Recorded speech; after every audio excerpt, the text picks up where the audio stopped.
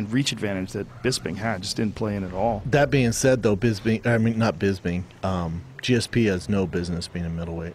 That's not the land for him. Um, Robert Whitaker's a